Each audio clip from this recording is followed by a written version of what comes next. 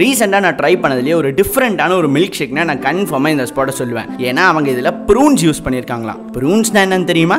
என்ன எனக்கு என்னடா தெரியும்? கேளுடா.